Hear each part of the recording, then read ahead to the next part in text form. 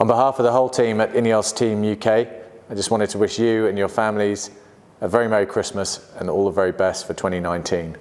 It's been an amazing year in the America's Cup with the introduction of a new 75-foot foiling monohull, and we look forward to getting that boat on the water next year and building up to the America's Cup in 2021. All the best.